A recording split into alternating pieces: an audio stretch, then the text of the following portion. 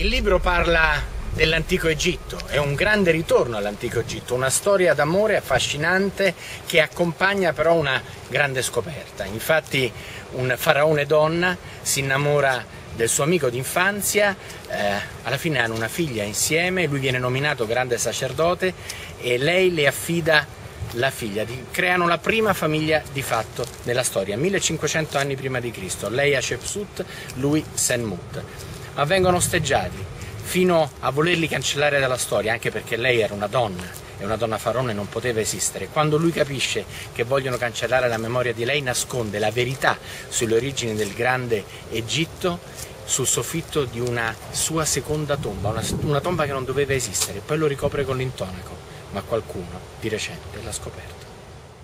Torna il grande Egitto con la donna faraone, forte come un uomo, bella come una dea, custode del grande segreto delle origini. Il primo romanzo di Roberto Giacoppo, La donna faraone, Rai Eri Mondadori, da una storia vera.